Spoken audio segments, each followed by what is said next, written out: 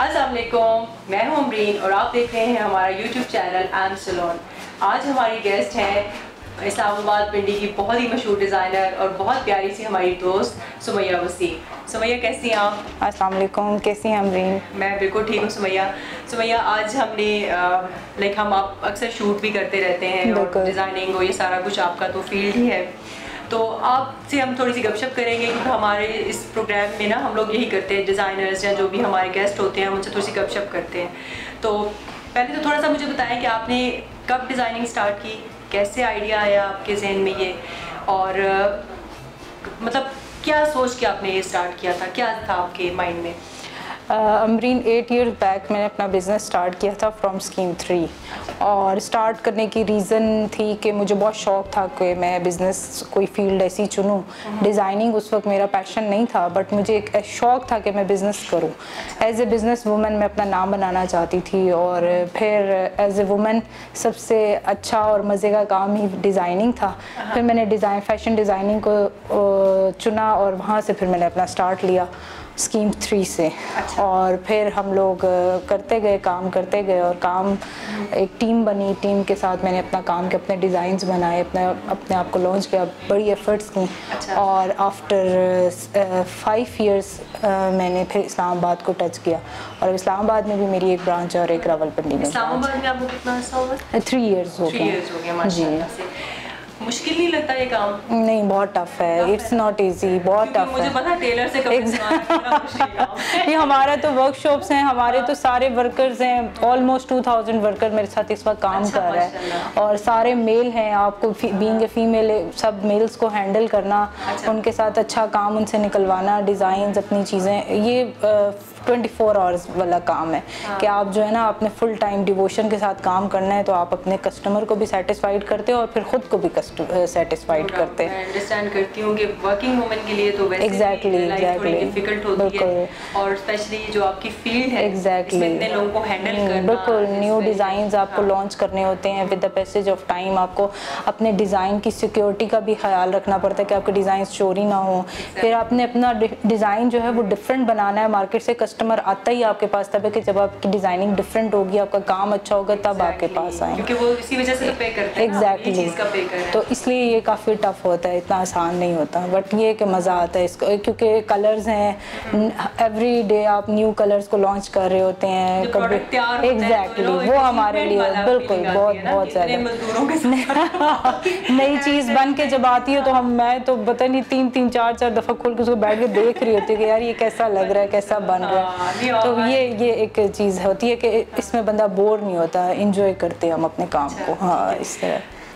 अच्छा सुमैया मुझे बताएँ कि आप माशाल्लाह मदर भी हैं और कितना मुश्किल लगता है बीइंग मदर अपने घर को भी चलाना अपने बिज़नेस को भी चलाना और टाइम पे ऑर्डर्स भी डिलीवर करना। ये तो आपने बताया है कि ऑर्डर्स आप लाइक करती हैं डिलीवर और जब वो कंप्लीट होते हैं तो आपको बहुत खुशी मिलती है। लेकिन ऐसा भी तो होता हो कभी कि आपके साथ आपने बहुत कोई प्रोफेशनल कमिटमेंट है और साथ ही उसी टाइम पे घर पे कोई बच्चों से रिलेटेड कोई बहुत अर्जेंसी हो गई हो तो फिर उस ऐसी सिचुएशन को आप कैसे हैंडल करती हैं? Amreen being a mother it's tough कि ज़ाहरी बात है आपको चीज़ें मैनेज करनी पड़ती हैं। बट uh, लेकिन बच्चे अब बड़े हैं माशाल्लाह समझदार हैं चीज़ों को वो भी समझते हैं। और मुझे लगता है कि अल्लाह ताला ने एक औरत को ना एक पावर दी हुई है, एक एक्स्ट्रा पावर है कि वो हर चीज़ अच्छे तरीके से मैनेज कर लेती है। मैं घर भी मैनेज करती हूँ, घर में यानी बच्चों को मैनेज करना ज़रूरी होता है, उनकी तरबियत, उनकी तालीम, ये चीज़ें हमें देखनी पड़ती हैं बींग मदर और आपको पता है कि जो वर्किंग लेडी होती है, उसके ऊपर ज़िम्मेदारी भी ज़्यादा होती है, क्योंकि उसको जो मुआशरा है ना, वो क्रिटिसाइज़ भी करता है इस चीज़ पर कि अगर उसके बच्चे तालीम में पीछे रह जाएँ या किसी भी एक्टिविटी में अगर बच्चे निगलेक्ट हो जाएँ तो लोग ये कहते हैं कि शायद ये बिज़नेस को ज़्यादा टाइम दे रही है और अपने बच्चों को टाइम नहीं दे रही।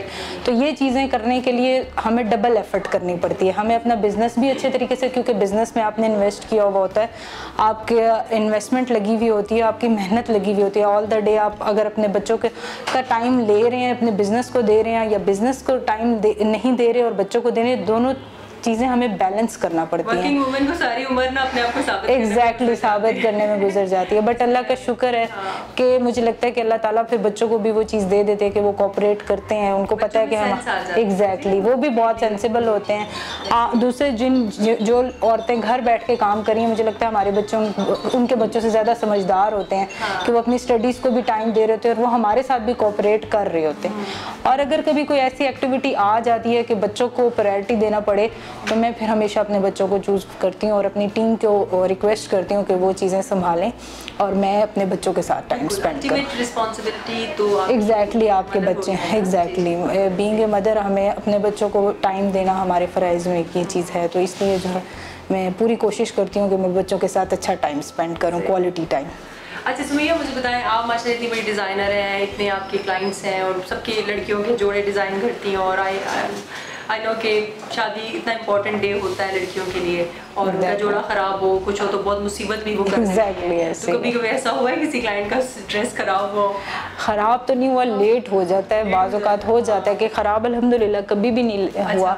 लेकिन जो क्लाइंट होता है ना उसके अंदर सब्र बहुत कम होता है पेशेंस नहीं होता। है या साइज़ में कोई इशू हो जाता है तो वो फिर कस्टमर चीखना शुरू हो जाता है। तो हम लोग तो आदि होते हैं हम बड़े तरीके से उनको उनसे टाइम लेते हैं और उन्हें कहते हैं कि ये ऑल्टर हो जाएगा। वो कहते हैं ये कैसे होगा? ये हो ही नहीं सकता। हम कहते हैं ये हो जाएगा। और जब करके लाते हो तो उन्हें यकीन आ जाता है कि हुआ है। लेकिन मेरा है नहीं ख्याल कि अभी तक मैंने अपने कोई क्लाइंट को डिलीवर ना किया हुआ हाँ एक दफ़ा एक ब्राइड थी।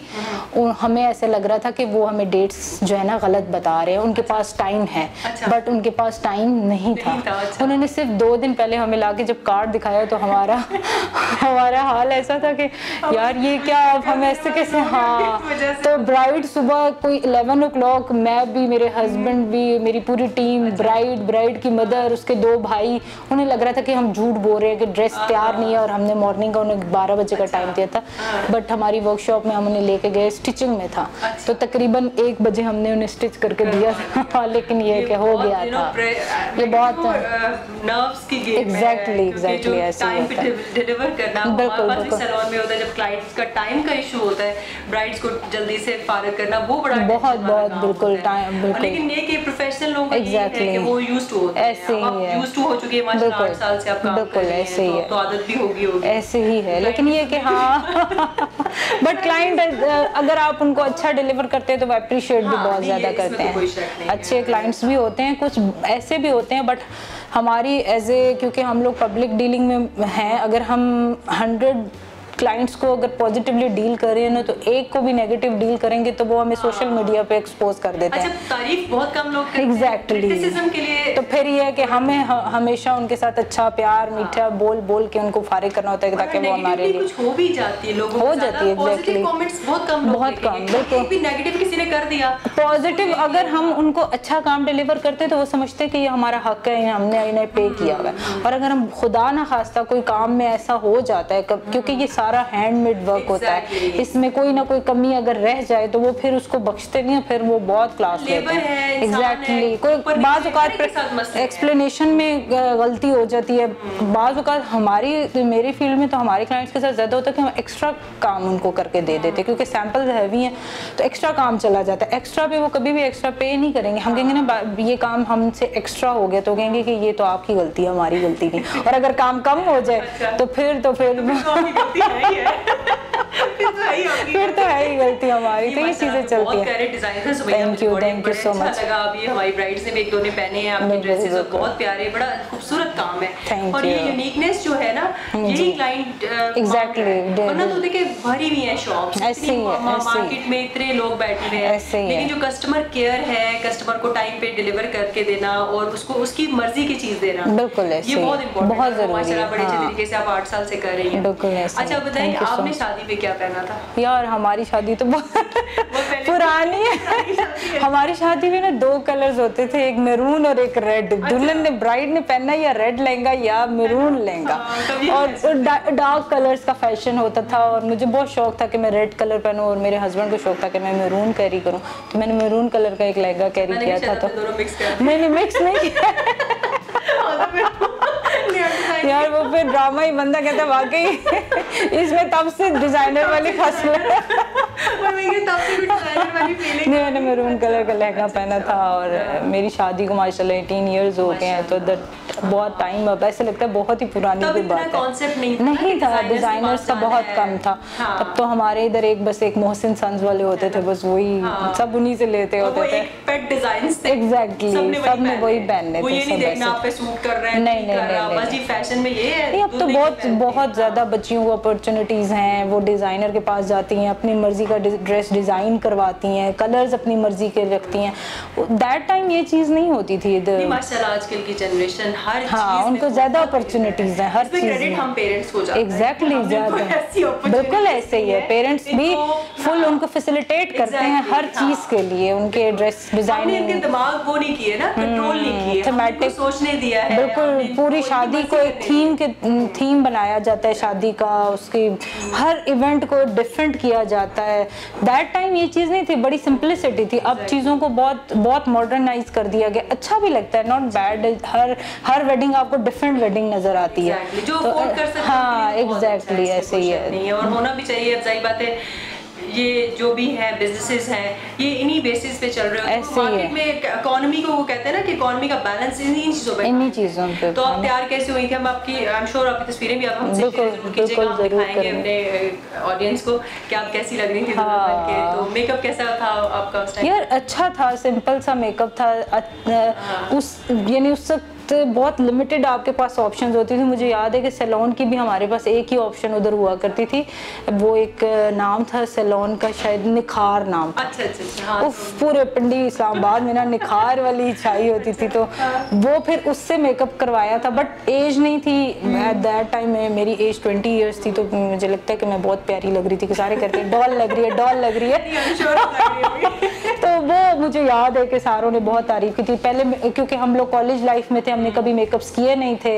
ऐसी अब तो बच्चियाँ मेकअप करती हैं उनको सारी चीज़ें पता होती हैं। दैट टाइम हमें कुछ भी नहीं होता। हमें बस अम्मी अबू कहते थे पढ़ो पढ़ाई पे आपने बस फोकस करना है। तो ये था ना कि कुछ एक दिन छोड़ दिया तो पता नहीं क्या तो हाँ, ने ऐसे ही है ऐसे ही है। मेरा फ़र्स्ट मेकअप था मेरी शादी पे जो मैंने फ़र्स्ट टाइम मेकअप भी फ़र्स्ट टाइम लाइफ में किया था। अच्छा। तो अच्छा रिस्पॉन्स था। उस एट दैट टाइम सब कह रहे थे बहुत प्यारी लग रही हो। खुद तो होश ही नहीं था। वो दुल्हन बन के मुझे लगता है बंदा थक ही जाता है और हाँ, कुछ भी नहीं।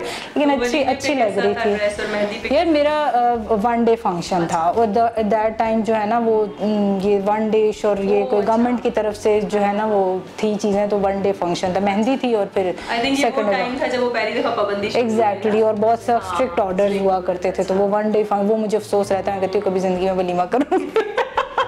चले हम अपनी एनिवर्सरी में हाँ ऐसे ही इंशाल्लाह। ज़बरदस्त। अच्छा ये एक जो बहुत ज़्यादा सेटबैक फे, फेस किया है businesses ने ये कोरोना कोरोना तो बिल्कुल, मुझे लगता है बिल्कुल। आया ही इसलिए हाँ मुझे लगता है आया ही हमारे लिए। बिज़नेस मैन के लिए आया है कोरोना में। की तबाही फेर दी है। ऐसे ही है ऐसे तो ही आपने इन दो सालों में कैसे कोप अप किया? यार अ, हमने भी बहुत सफ़र किया है क्योंकि एज ए डिज़ाइनर आपके वेडिंग्स तो बिल्कुल बैन था। तो ड्रेस डिज़ाइनिंग बिल्कुल अब। हमारा काम आउट ऑफ़ द कंट्री भी जाता है। वहाँ पे बिल्कुल यूके अमेरिका में टोटली बैन था काम। हम तो फिर भी यहाँ पे वेडिंग कुछ मेंबर्स को इजाज़त थी कि शादी करने ड्रेस ड्रेस बहुत लोगों ने सिंप्लीफाई कर दिए। बजट अपना बिल्कुल वो लोग ज़ीरो पे ले गए। लेकिन हमारा इशू ये था कि हमने रेंट्स भी देने हैं। हमने अपने उन गरीब वर्कर्स का भी ख्याल रखना है, जो वो हाथ का काम कर रहे हैं। बेशक जोड़े बन नहीं रहे बट हमने तो उनको चलाना है। और मैंने इन टू इयर्स में बहुत हार्ड और मुझे इस चीज़ का दुख होता है कि हमारी गवर्नमेंट ने हमारा साथ उस तरह नहीं दिया।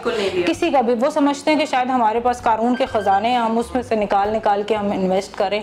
बट किसी एंड पे नहीं है। नहीं है। किसी एंड पे किसी प्लेटफॉर्म पे कहीं पे भी कहीं हमारे एग्जैक्टली कोई आपको लोन नहीं दिया गया कोई आपको यानी ऑनर्स को नहीं कहा गया कि आप रेंट माफ़ कर दें या बिलिंग में हमारी हेल्प नहीं की गई या हमारे वर्कर्स को पे ऑफ़ नहीं किया गया कि गरीब लोग हमारे साथ जो अटैच हैं अगर दो हज़ार घराने मेरे साथ अटैच हैं मैंने उन दो रमज़ान बीच में गुजरा है यानी अब अब मुझे ये फील होता था कि ये ये कहेंगे कि जब इनके पास इनकम आ रही है तो ये हमारा साथ दे रहे थे।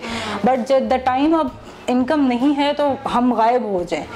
ऐसा बहुत मुश्किल हो जाता है ना कि अगर आपने फ़ील्ड में रहना है और मैंने इस मुश्किल टाइम में अपने वर्कर्स का भी साथ दिया सैलरीज वालों को सैलरीज भी दी मैंने किसी की सैलरीज नहीं काटी हाँ, मैंने कहा कोई बात नहीं अल्लाह ताला हमारे लिए इसबाब पैदा करेगा।